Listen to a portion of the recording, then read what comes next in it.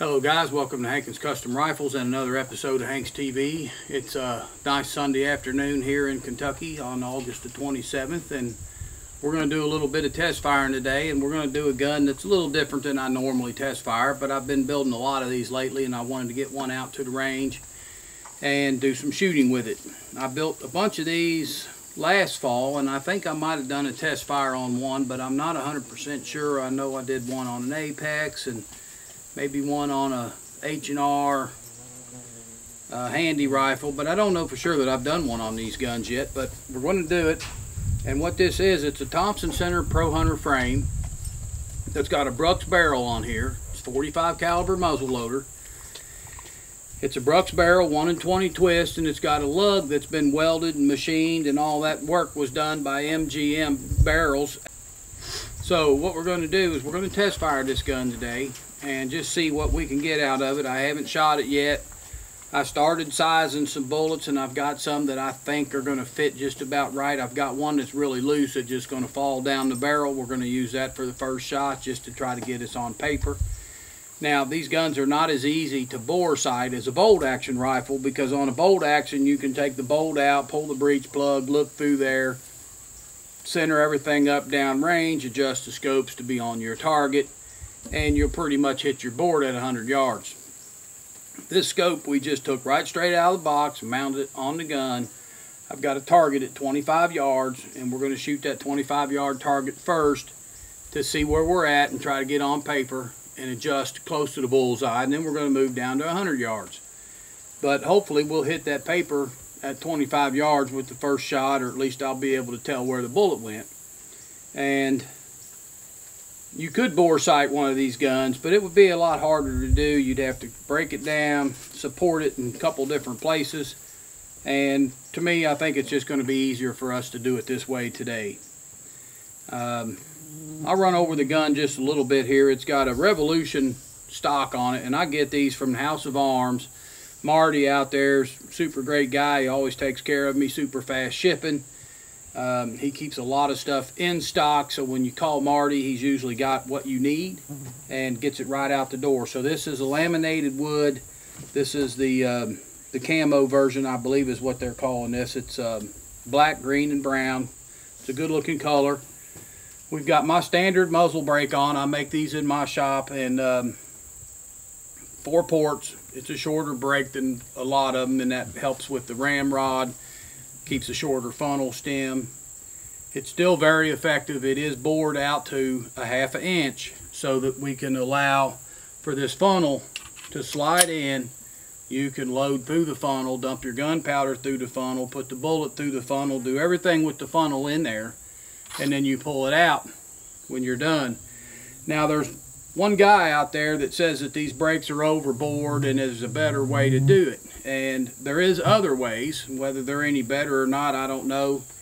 Um, there's some guys that are boring these brakes to what would be the correct size which would be uh, about 478 instead of uh, 500 and they're making this funnel stem to where when you put the bullet in it you have to pull the funnel out to put the bullet in. You push the bullet into the funnel stem and you push it in there and it'll kind of stay kind of stay so then you got to take and push your funnel back in with your bullet in the stem.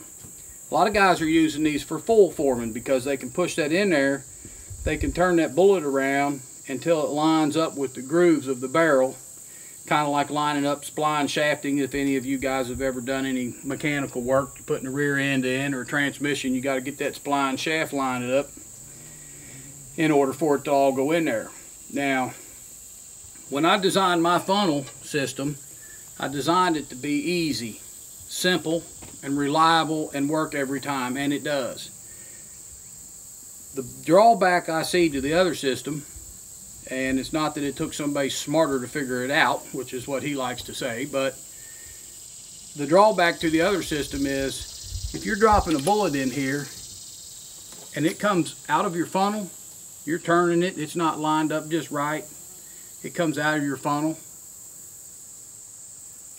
Eventually you're going to have to turn your gun upside down maybe and shake this bullet out. Well, when you shake the bullet out, you're going to shake all your gunpowder out. So there's many, many different ways of doing things, but this is the way I do it, and it works, and it works every time. So we'll move on. We got past that funnel. So we're going to move down here. We'll talk about the scope a little bit. This is a Vortex scope. It's their new scopes they've come out with here within the last year. I've sold a couple of these, but this is the first one I've actually sighted in and shot with or looked through.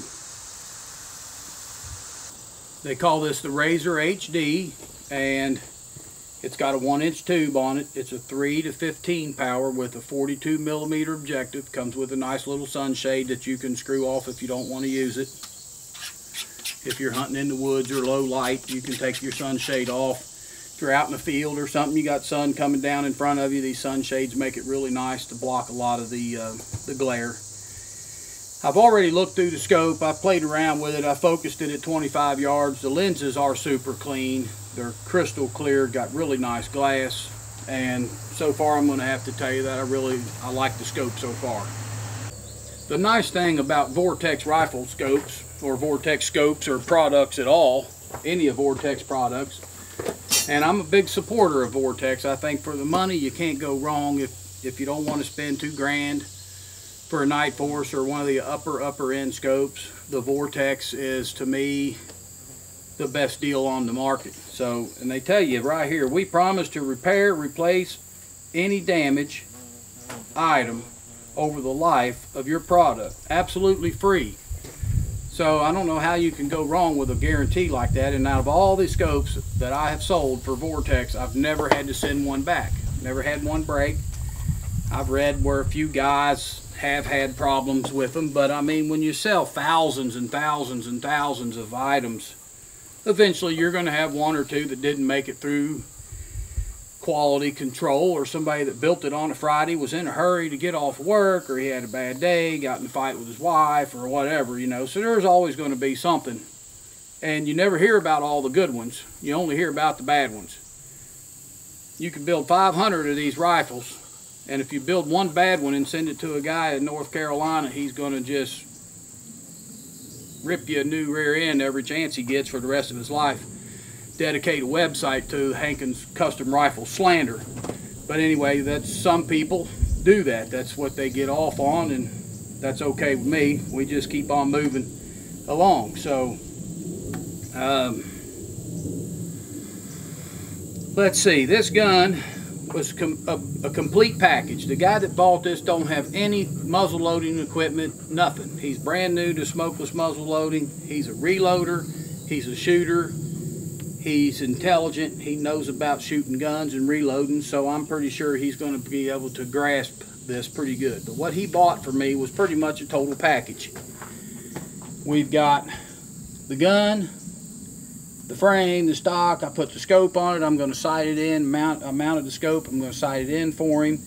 He ordered a three-piece ramrod, which any of you guys that know how these rods work, they're really nice. You can fold them up, keep them in your pocket and whenever you need it you just pull it out and now you've got your ramrod. It's got a jag on it custom made to fit Pittman and Parker long nose bullets the real long high BC bullets that are on the market. This jag will fit it.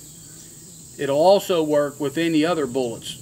And today we're going to be shooting the Parker 275 grain BEs but you can load Hornady bullets with them you can load whatever you want to and this jag will work um, now I'm going to tell you guys that the little sweat bees down here today are just absolutely terrible. It's about the worst I've ever seen them. They're getting on my nerves a little bit.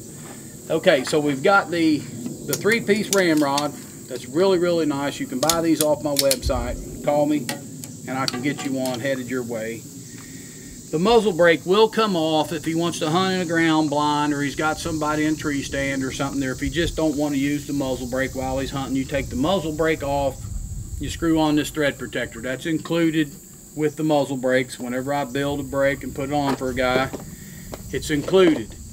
You want to ask your rifle smith out there when you ask him how much to put on a muzzle brake and he says, well, 100 bucks, well, then you got to ask him, does it come with a thread protector? Does it come with a powder funnel? And does that include the price of the muzzle brake? And then they always, oh no, they don't do that. You know, we still got to buy the brake. That's another 50 bucks. I got to make a funnel, got to put a thread protector on. by the time you're done, you're up or your prices are more expensive than what I charge to put the brake on, make the funnel. It's all done at the same time. So uh, let's keep moving on here. The guy got a decapping stand. That's for putting in your little primer modules after you have fired them while you're sitting out on your, your shooting bench. He bought one of these little hammers that I make that fits in your possibles box or your bag or you know you can carry it in your back pocket or the door pocket on your truck or whatever. And he bought this little Starrett punch. Now I sell this as a kit a hammer decapping stand and a punch and this is a Starrett punch top line high quality. It's not one of these little um, soft metal punches that some people provide with their decapping stands and you basically just put that in there hit it with the hammer knocks out the primer my decapping stands are bored all the way through. They got a big pocket on the bottom of them. I know there's another guy sells these things. There's no pocket. There's no hole all the way through it. You can only knock out one or two primers and you got to dump this out and then you got to knock another one and then you got to dump this out. You can knock out all 25 of your primers with this. Take and slide it off the table, throw the primers on the ground, won't hurt nothing. And you're good to go. You can just keep right on moving. So not all products are created the same. They're not all manufactured and they're not all copied exactly and they're not all equal. Everybody has their own ideas of how to do something and what really works. So now what we're going to do, I'm going to move some of this stuff here off the table so we can start shooting this gun. We're going to start out at 25 yards. I've got a really loose fitting bullet and I believe it's this one if I haven't mixed them up. I sized five of them, and I believe that it's this bullet. I'm going to check it to make sure. Yep, this bullet here will probably just fall all the way down the barrel. We probably won't even need ramrod on it. And years ago when I introduced this ignition system and I was shooting bullets that didn't hardly use any pressure to go down the barrel um, several guys over on Doug's message board said I was crazy, said I was lying, said it couldn't happen, it's impossible. They've been shooting these guns for many, many years, and you got to hammer the bullets down, you got to have tight fit and all that stuff. And I've proved them wrong, and now, years later, all those same guys that said it wouldn't work, they're doing it. So what we're going to do is just do a simple load. We're shooting 65 grains of IMR 4198 in this conversion today. We call this a conversion. It's actually a muzzle loader. It's not a conversion. It's never been anything other than a muzzle loader, so I really haven't converted it. It's just a 45 caliber Brux barrel with my breech plug in it. Now, watch this, fellas. I didn't even push that ramrod. That's how loose that bullet fits. I'm just going to make sure it stays down.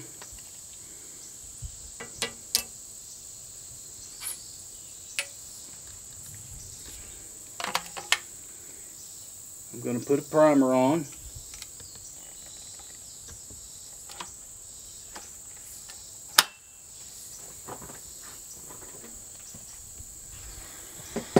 And now we are ready to cock the hammer and shoot the gun. But now I've got two dogs down here. I'm to have to take a break. We're to take my dogs over and put them in the cab of my truck because I've tried and tried and tried, but I cannot get them to wear earplugs. So we're to put them away, and I'll get back with you guys here in just a second. Okay, guys, we're ready. We've got the dogs put away. We've got the gun loaded. Um, everything seems to be ready to rock and roll here. Just got to pull the hammer back, put my earplugs in. Like I said earlier, we're shooting at 25 yards first just to get us on paper. Sometimes if you shoot at 100, you don't even hit your paper or your backboard or nothing, and you're just wasting bullets. So we'll throw a few down range at 25 yards and just work our way back.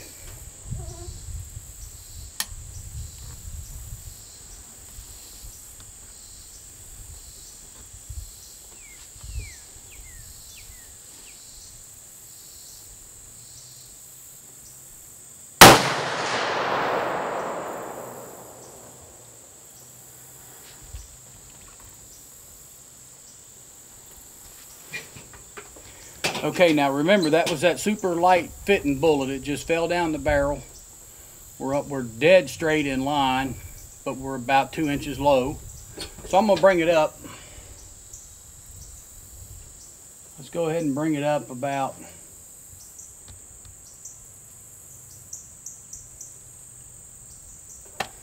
We'll bring it up six minutes. I don't know what that's going to equal at 25 yards, but um, that'll probably get us on now at 100. We're at least straight in line with it. I'm going to load it up again. We'll shoot another one at 25 yards. Let's see how this bullet's going to fit in the bore. It might be tight. I may have to do some adjustments on the sizing die.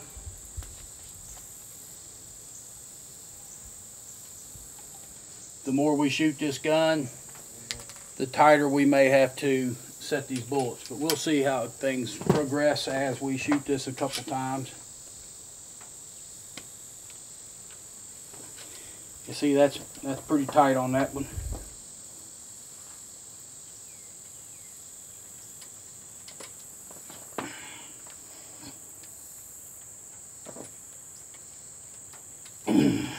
Way too tight, fellas.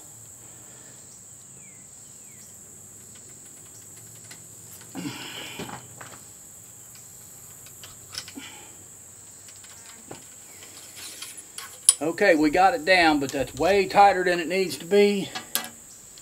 And I will um, keep working on these bullets until we get a better fit. Now, with my system, with the large rifle magnum primer system and these little modules, once you get used to this gun, you can hold it with one hand, crack it open, and it'll kick this module out in your hand. You can catch it as long as you put your hand right here. It'll just pop it right out. So we're ready to put on a new module. Just set that in front right there. Close it up.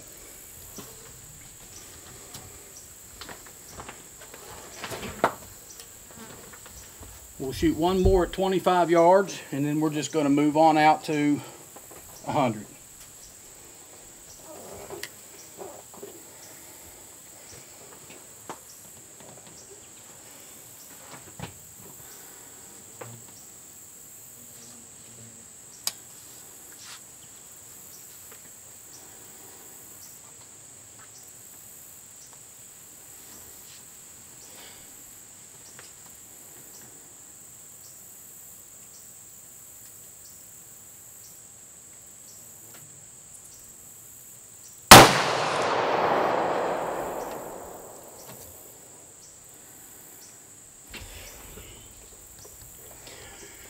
Okay, just so that you guys know it, six minutes on the scope moved us three inches roughly at 25 yards.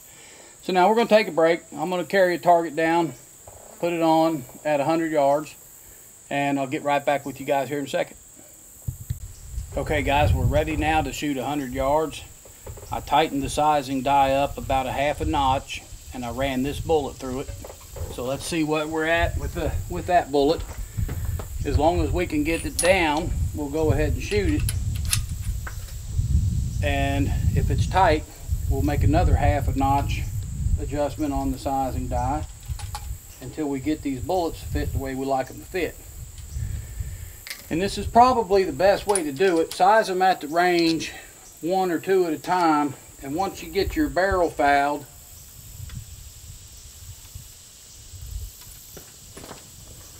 and size the bullets to your foul barrel.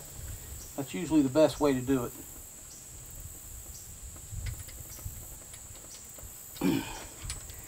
I don't know to, for sure that we made any difference.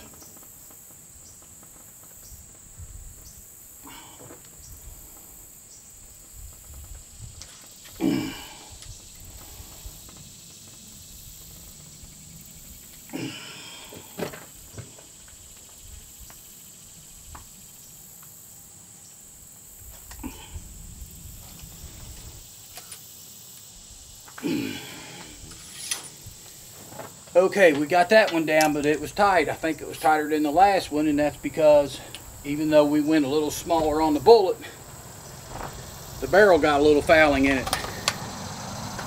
The more fouling you get, the smaller you're going to have to go with your bullet.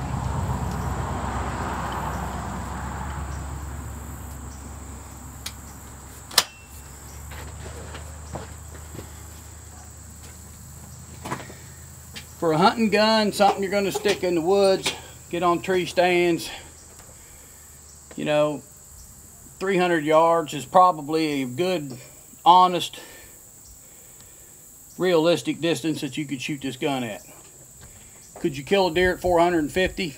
Yeah, you probably could, but your drop is going to be so much by the time it gets that far that if you miscalculate your yardage any at all, you're going to miss the deer because by the time it gets that far, it's going to be dropping pretty fast.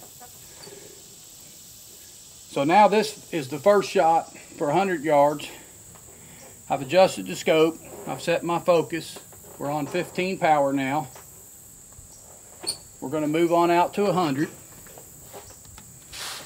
and see what we can get.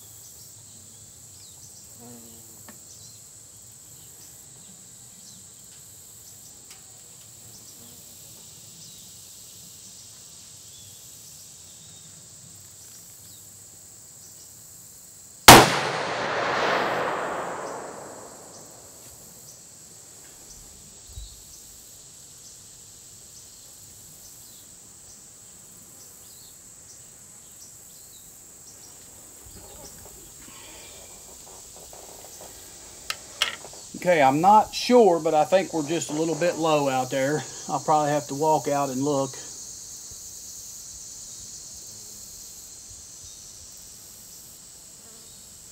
And if we need to make adjustments, we will. So I'll be back up here in just a few minutes. Okay, guys, what I thought I was seeing was a bullet hole, but it wasn't a bullet hole. I walked down there and I did find the bullet hole. It's about four and a half inches high and two inches or so to the left. I've already made some scope adjustments. I got back to where I think we should be at the bullseye this next time or pretty close. And we weren't as far off with the scope mounting as I thought we was going to be at 100 yards because I'm right back now I'm at the scope was on zero when we started and I'm at one and a half MOA off of the zero mark where the factory settings were from Vortex. So we're going to load it up again. I've sized another bullet. I went one more notch tighter on the die.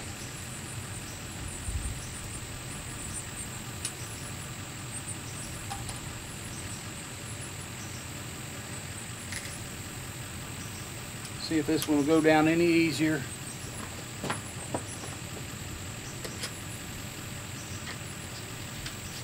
There we go. That's about where I like them. One hand. You don't get red faced and out of breath by the time you get your bullet in. I missed that one.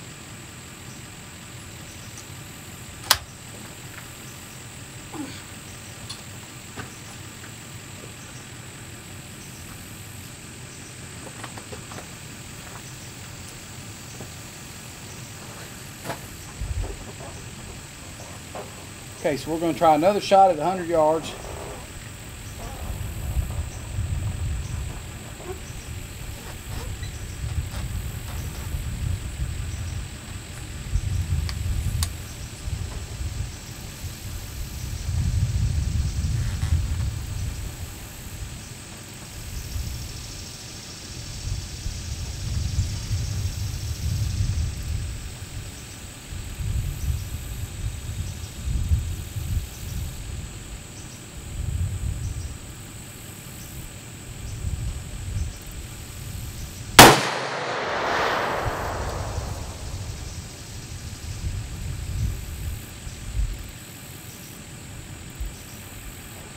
Okay, I see it down there, and we're going to shoot another one. I'm going to size this bullet.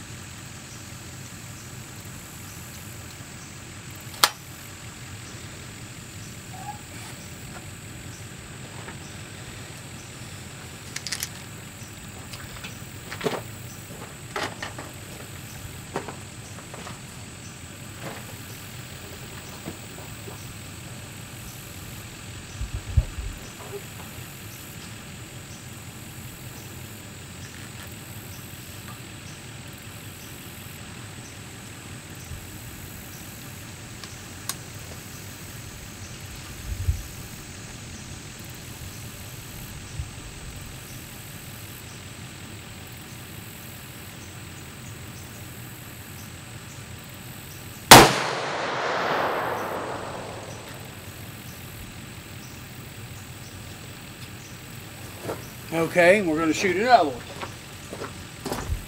Get another bullet. I'll get a couple bullets and go ahead and set them out.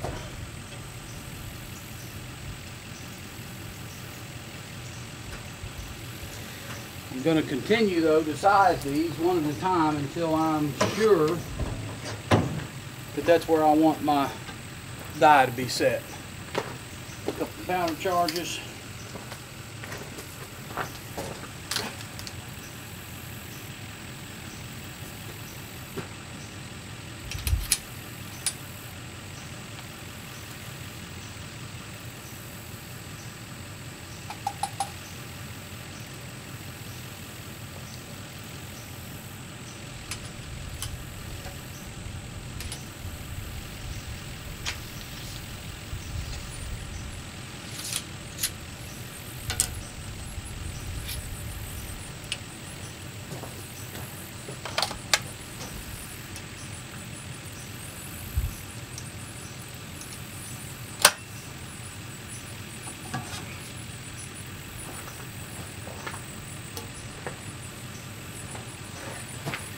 Go ahead and shoot one more at 100 for a three shot group.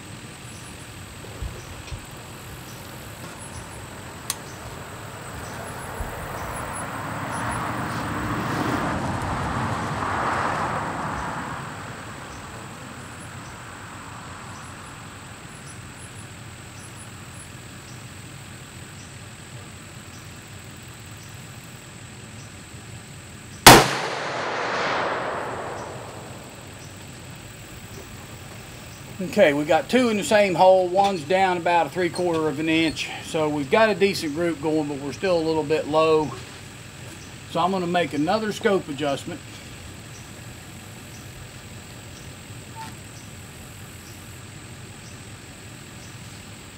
I wanna bring that group up about two inches.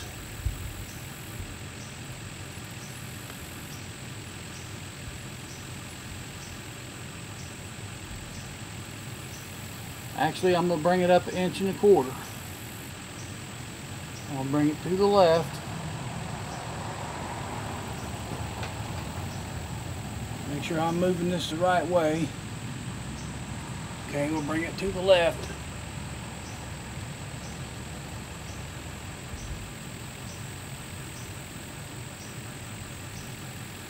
About an inch. All right, so we're going to take a five minute break. We'll shoot another group at 100 yards and see what we get. Okay guys, we're ready to shoot another group. I put up a new target at 100 yards, gave us a new orange dot to shoot at, and took a five or 10 minute break. It's warming up out here today, but it's still a pretty day. I went ahead and sized these three bullets so we can just load and shoot three bullets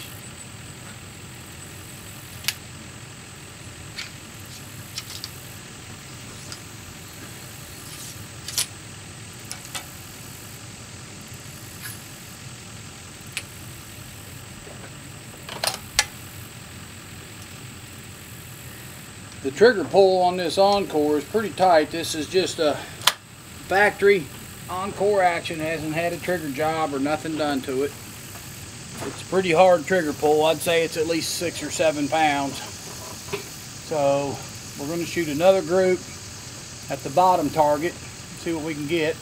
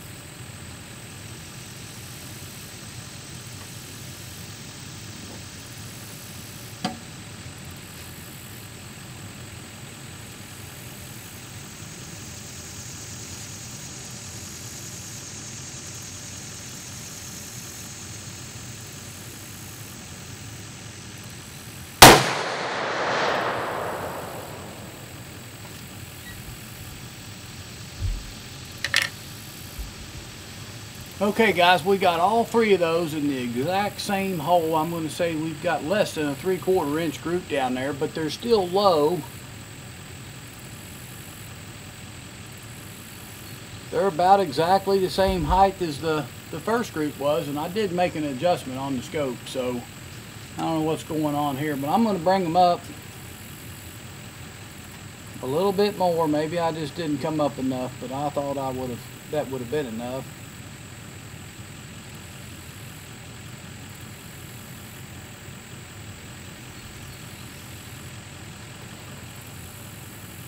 Going to take another break. We're going to shoot another group here in a minute and see what we get. Okay guys, we're going to shoot another group. I'm going to shoot at the same bottom target. Hopefully this group is going to move up some.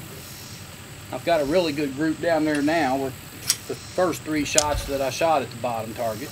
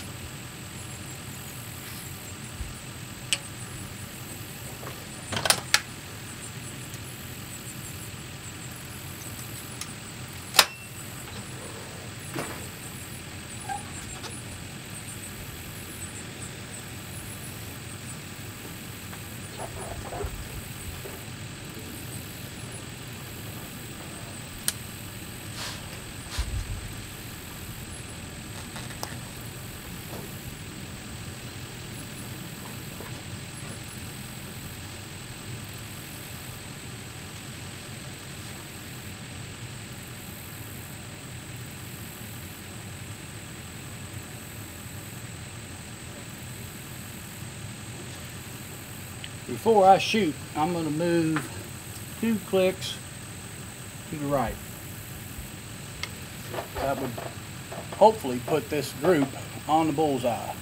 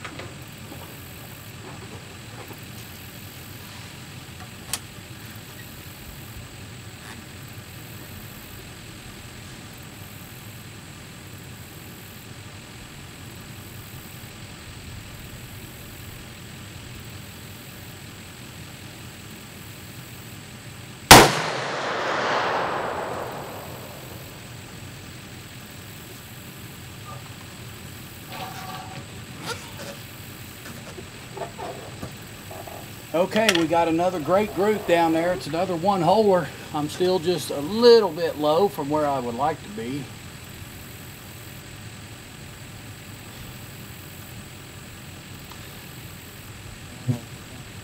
I'm just going to change the elevation two clicks and we're going to call that probably done. So we'll take another break, let the barrel cool down. I've got two more primer modules and I've got some more bullets. So we'll probably shoot two more shots and we'll call this rifle complete.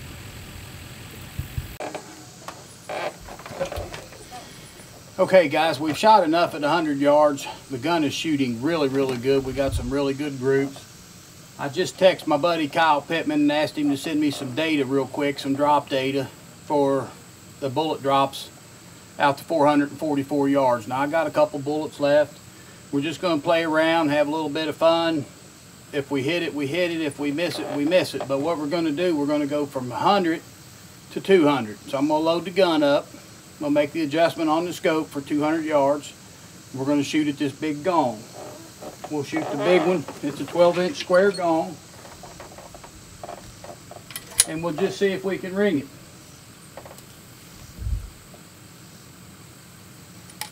It would be, the best thing to do would be to verify all this drop data before you went out and, you know, I wouldn't recommend doing this to deer hunt with or something. But just for today, we're having fun. Let's see how far out we can get by using the computer generated drop data.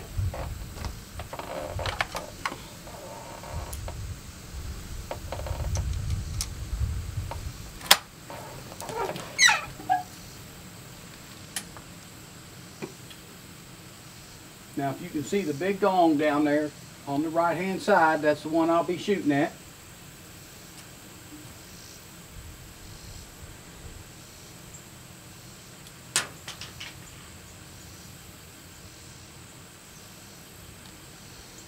According to the drop data on the computer here, I need two and a half minutes. So we're going to dial up two and a half minutes and make our shot.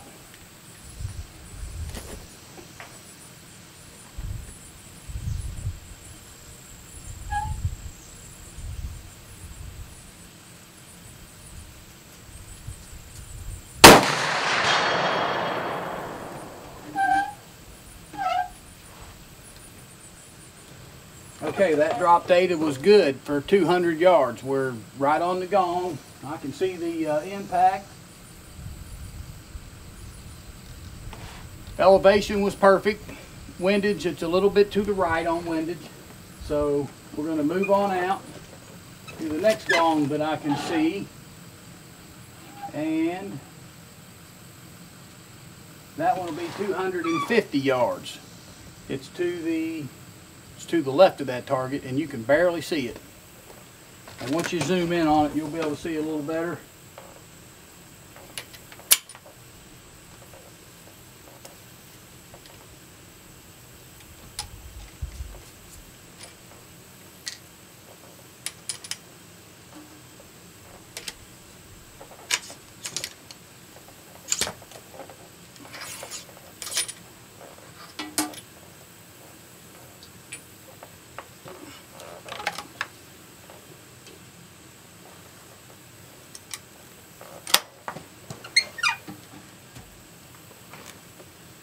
According to the drop data, for 250 yards, we need four and a quarter minutes. So let's go to 4.25 and make a shot.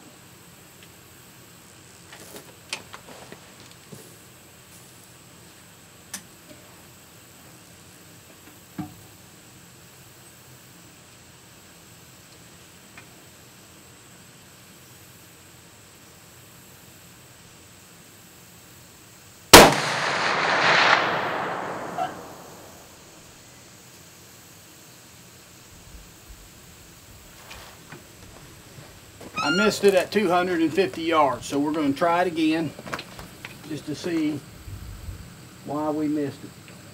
And this is the last shot I've got, fellas, so we're going to give it all we got. Computer generated data, sometimes it gets you close. I couldn't tell for sure where I where it hit at. So we're just gonna do the same thing. I might hold a little high.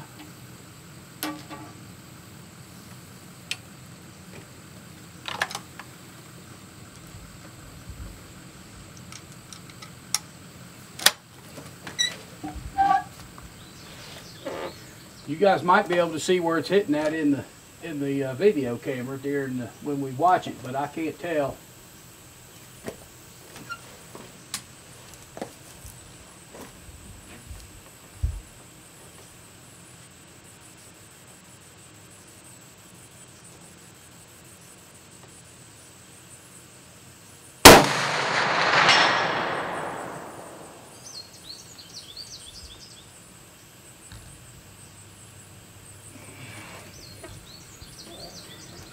Okay guys, I hit it on the second shot and I aimed, I put my crosshairs just about an inch down on the top of that gong.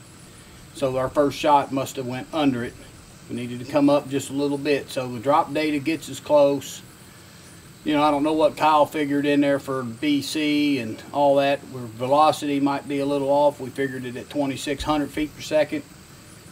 So best thing you can do is just come to the range and verify all this information before you go hunting. But we know this is a good 250 yard deer killer, probably 300. I'm confident we can kill deer pretty easy at 300 once you know your drop data and figure out the BC and do your homework.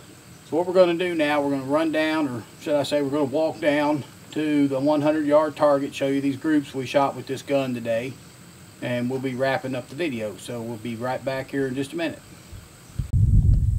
Okay guys, we've made it down here to the 100 yard target.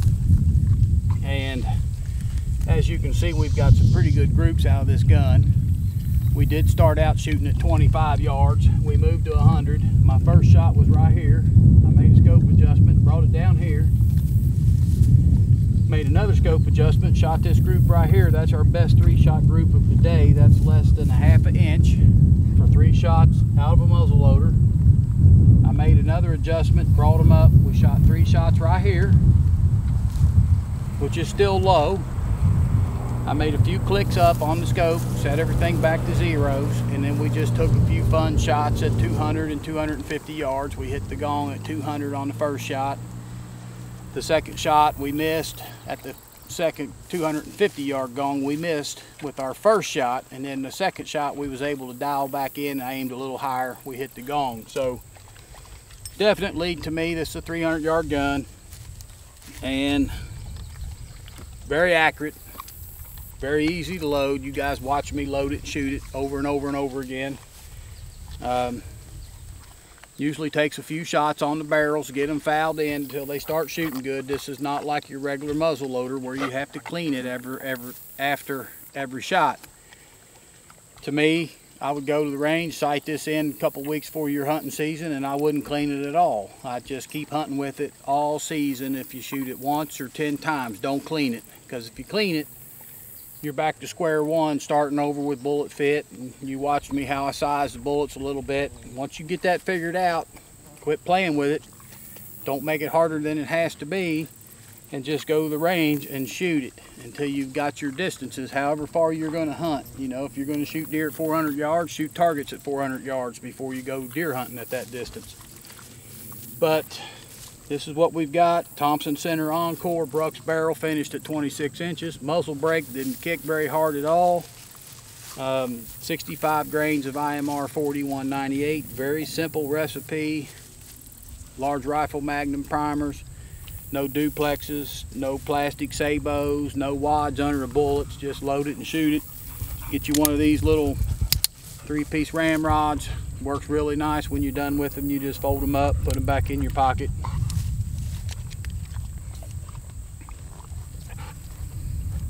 You can take this to the woods this whole gun probably weighs I'm gonna say less than 10 pounds probably around nine something. I haven't weighed it. I was happy with the scope very impressed clear glass everything worked pretty good. Um, magnification's nice it's small lightweight. I need to put the caps back on here before I forget but we'll put the caps back on and we're ready to go. So anyway fellas This is the Thompson Center Encore that you can get from Hankins Custom Rifles if you need one. If you want one, if you're going on a hunt or something, give me a call. Maybe we can get you one out the door. And until next time, guys, I want you to give me the thumbs up on the YouTube videos. Join Hank's message board at hanksmessageboard.freeforums.net. And we've got a lot of information on there. We got pressure traces for these guns so that you know if you want to try a different gunpowder or something. You can go to that message board, look at the pressure traces, see if that powder charge has been traced, what kind of pressure it produced, and you can draw your own conclusions to what's safe and what's not safe in your gun. So really, guys, until the next time, I want to tell you thanks for watching my videos. I appreciate it. Thumbs up to all you guys out there, and we'll catch you the next time around.